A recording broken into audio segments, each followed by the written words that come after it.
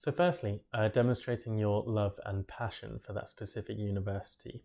So, um, a- an example way to sort of think about this. So, I have always aspired to study medicine at and, and whatever uh, this university is. Um, when we say always, we mean when you decided uh, to, to study medicine. Obviously, not since the age of five, I wanted to, to study medicine at, at Exeter, um, which may be the case, but again, it sort of falls into that bracket of um, uh, being uh, an unlikely answer and something they don't necessarily want to hear.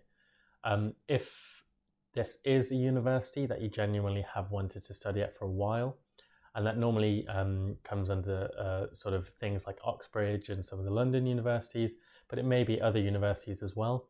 It is perfectly fine to say that. Um, and actually, my top tip for this sort of question is to make it honest um, there will be a reason why you put a, a university down, and normally some um, these reasons will be um, something that you can discuss. Obviously, if it's something like um, I needed a, a, fourth choice and, and this was the best out of the three, um, that's not really a, a good reason to be talking about. But think about why you specifically chose that university. And um, if you are stuck, do some research and look at some parts of the the course or uh, the actual university itself that um, uh, interest you, and then you can talk about this.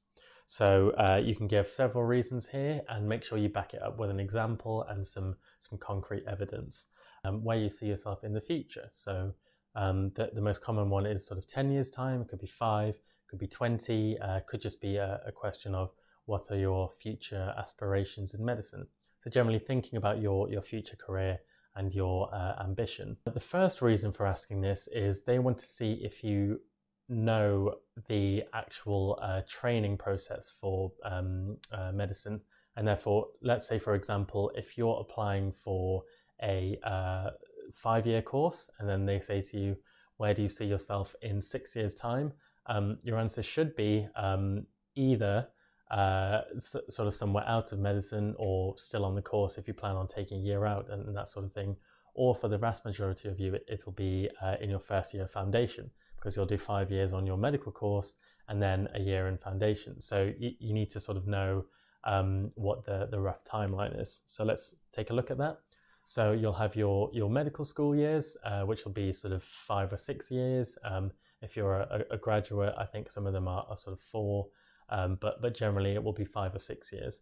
We're going to talk about Oxbridge interview questions, which I know is uh, a massive um, source of worry and stress for students every single year because every year the same articles and topics are sort of brought up and uh, people talk about how uh, strange and how sort of uh, unrelated to, to anything um, the questions are and all of these weird and wacky sort of stories. Um, and there's no real way to uh, validate these and, and, see whether there's any truth in them. So I can only tell you uh, what I know from seeing the process from the other side and also what I've personally experienced. So the trick to doing well, um, and I put the, the top one in, in capitals uh, because I, I really want this to be what you take away from this.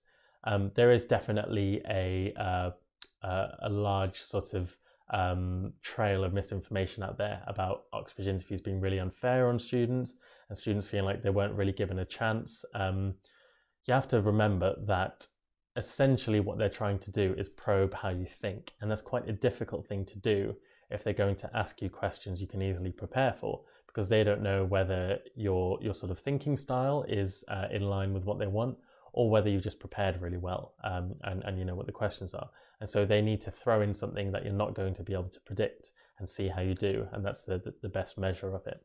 Um, so you need to be reasonably intelligent and be able to think on your feet. So uh, what we mean by reasonably intelligent is there is a sort of level of academic um, achievement you do need to get to. Because when it comes to um, the, the volume of work and the difficulty of the concepts, you do need to be able to to understand it and take it in. Um, this isn't you don't sort of need to be a, a super genius. I'm I'm certainly not, um, but you definitely do need to have a, a sort of reasonable understanding of um, human biology and, and scientific principles and, and chemistry and, and maths and, and these sorts of things.